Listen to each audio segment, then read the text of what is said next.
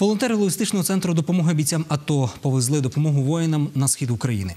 Теплі речі, медикаменти, засоби гігієни, акумулятори до тепловізорів, цвяхи, цигарки, гумові теплі чоботи, домашню консервацію доправляють на передову Кримське, Щастя, Піски, Станицю Луганську, Опитне, Мар'їнку та інші прифронтові населені пункти. Речі, які везе логістичний центр, наперед узгоджені із бійцями. Волонтери кажуть, в значній мірі українське військо тепер набагато краще забезпечене ніж на початку війни.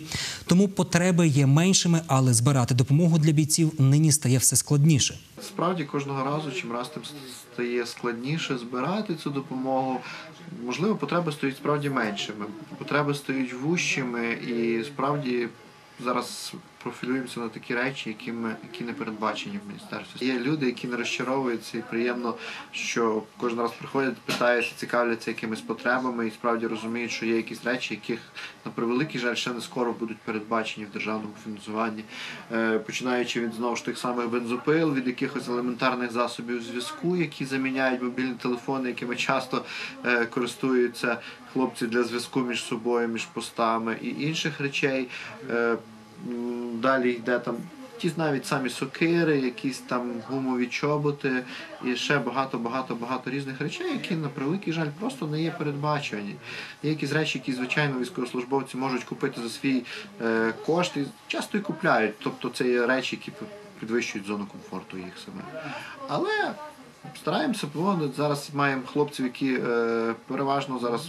То що, то, що багато допомагаємо, то є багато є хлопців, які в нас знаходяться на передовій безпосередньо, є нульова зона, е, це щастя, це станиця Луганська, е, це Кримське, е, і Піски, Опитне, Шахта Бутівка.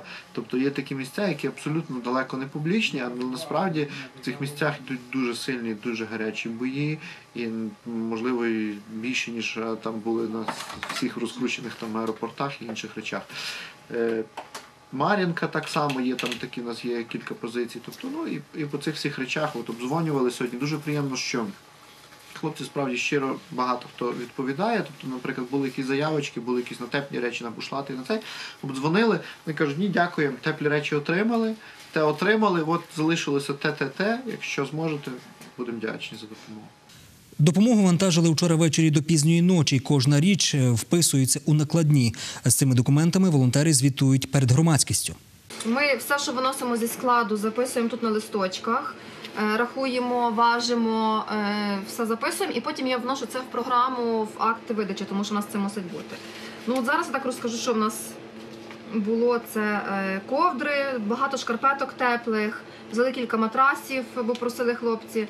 Е, Цього разу дуже багато маємо флісових сведрів і теплих сведрів. Ми їх закупили на секунді, секонд-хенді за таку ціну досить символічну. Нам сьогодні дівчата якраз продали.